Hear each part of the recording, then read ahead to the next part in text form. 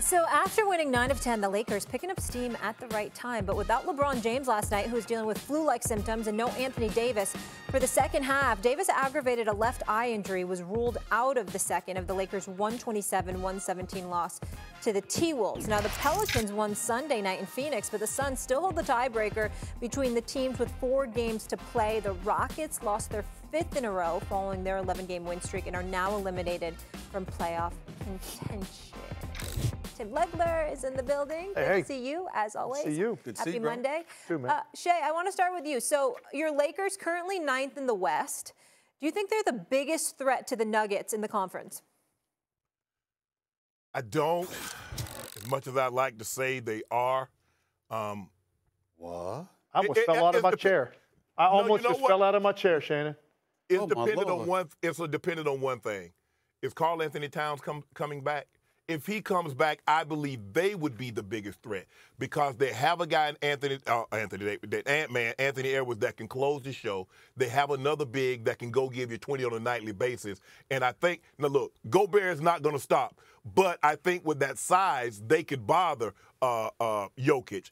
Now the thing is, with- look, we've seen them, Stephen A. We've seen them go to Milwaukee and beat the Bucks. We've seen them go to uh, Boston and beat Boston without LeBron, and I think Anthony Davis as well.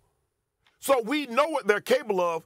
But I saw them lose to Brooklyn too once with both of those guys in the lineup. So I just don't know what exactly Laker team that I'm to get. Now, if you say we get we go we coming, you know we coming out a, a leg. You and Stephen, y'all know we coming out to play in, right? If we're in the play it don't matter. Play in, playoffs, it don't matter. Lakers gonna be in the regular season, gonna be in the regular tournament. You know that, Stephen A.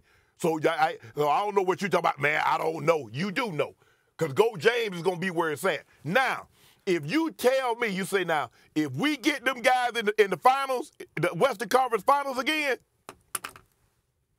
I'm gonna slide all my chips to the table. I'm going with Goat James. That's if we get to the Western Conference Finals. I don't want to see him before then, Stephen A. I don't want to see him before then. So can we wait? Can we get a couple of games, a couple of series up under our belt, get our rhythm?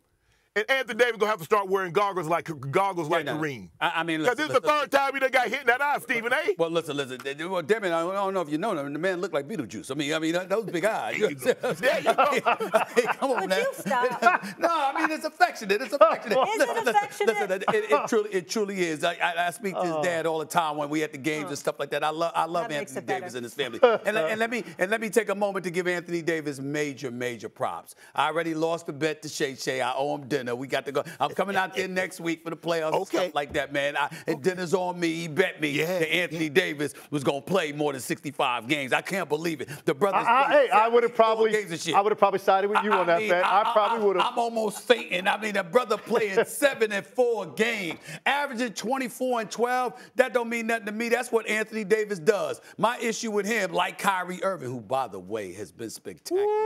Mercy, Kyrie Irving. Lord, just give him love and, and props. I mean, he is putting on a show this year. But Anthony Davis, 74 games averaging 35 and a half minutes. Tim Legler, I never saw that coming. I, didn't, I ain't gonna lie to you, I didn't see that coming. And because of that, Shannon, I have to Oh, look like at it from this perspective. Uh, I have to look at it from this perspective. Karl-Anthony Town comes back. I understand how formidable Minnesota would be because of defense. I'm not sold on their perimeter shooting, and I think that's a key pivotal factor come playoff time. You know, I know they got the size. I know they got the defensive prowess. I know they got a, a- an emerging superstar in Anthony Edwards, who's still relatively young, though. And when you're talking about LeBron James, Anthony Davis, I think you can make a legitimate argument at this point, the way that the Lakers have been rolling, that they're the number one threat to the Denver Nuggets. They're the biggest threat. I'm not trying to say that they couldn't get knocked off or whatever, but I would bet my money on the Lakers ahead of anybody but Denver at this particular point because of their defense, because the game slows, because there's no back to backs and you get rest in between games. I think all of those things factor into the equation. The only big, the biggest trepidation that I have, I checked in the other day and I'm hearing that Vanderbilt ain't gonna be back. It's not looking good. They're not ruling it out totally, legs, Shay. Yeah. They're not ruling it out totally, but there's some serious doubt as to whether they're gonna give it like another week, week and a half or so. But there's some serious doubt as to whether or not Vanderbilt is going to be back. I think that is a blow to the Yeah. Los Angeles Lakers. But based off of everything I've been seeing, 122.1 points per game, leading the N- NBA since March 18th, tied for the second best record in basketball with Boston behind Dallas, who's 9 and 1. They're 9 and 2. Um, look at 50% shooting from the field, second best in the NBA to the Pacers, 48.2 rebounds per game, which leads the NBA, leading the NBA in points, leading the NBA in rebounds. Defensive rating is at number six. They're 9 and 2 since March 18th reminiscent to what they did last year when they made that run at the end of the season going into the playoffs. And now they're about 12, you know, 11 games or so over 500.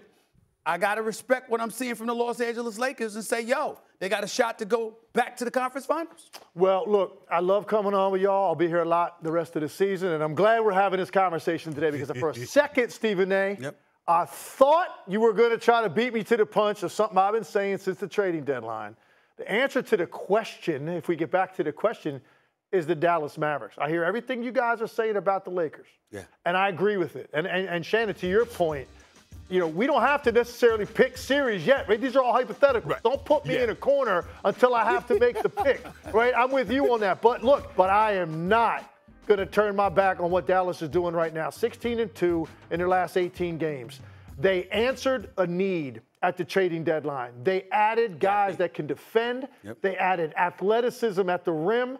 They've got more than enough shooting. And to Stephen A's point, this is the meshing that we needed to see out of Kyrie and Luka. Because you think about where's Kyrie right now? He's in the perfect lane. The lane he was in in Cleveland next to LeBron James mm-hmm. when he was most respected and revered as a player and won a championship in that lane next to that guy. And guess what? He's there again because Luka Doncic is that guy. And right now, Luka has checked off a couple boxes I needed to see that I was always worried about. First of all, I never trusted Luka Doncic at the foul line in important situations. That's right. That's gone.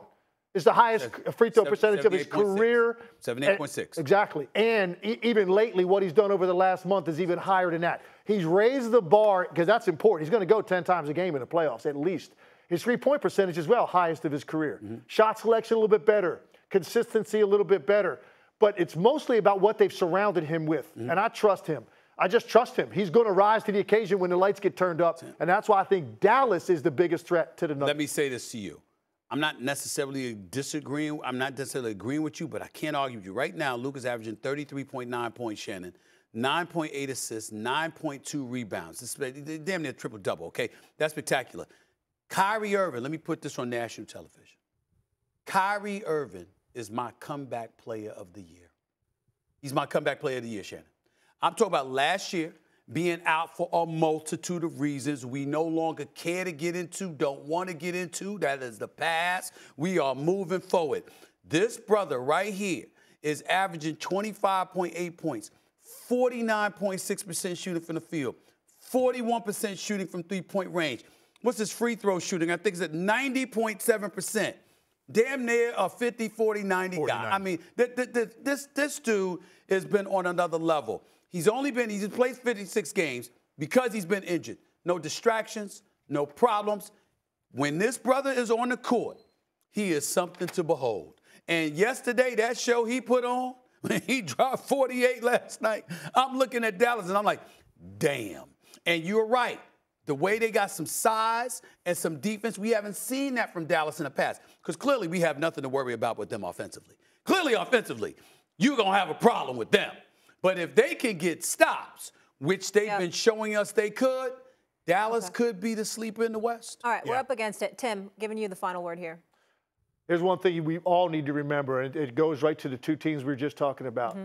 Two best records in the league in clutch situations, meaning you get into a one possession game, five minutes That to go, two best records in the league are the Lakers and the Mavericks. Yep. Two best records. And there's a reason. It's because of the two dudes that control the game in that situation. And I just think this is the this is the best team that Luka Doncic has had. And we've seen what he's capable of doing damn near by himself in the playoffs. Now he's got an actual team around him and Kyrie playing at this level. I think the Dallas Mavericks are legitimately a threat. on If they can avoid Denver when they went to the early, West- they can go to the Hey, conference finals if they avoid Denver. Remember, it was just two years ago they went to the conference finals with Jalen Brunson. And Right. Kyrie is playing better than Brunson was at Yep. the time that they went to the conference mm-hmm. finals. Well, I'm worried. You know what I'm worried about? Because we talked about the Clippers so much. First round, if the players were to begin the day, Dallas would play the Clippers. And even though I saw that show Paul George put on last night, they were still down 26, which required that show. I don't know if we picked the Clippers to beat Dallas no. in that series.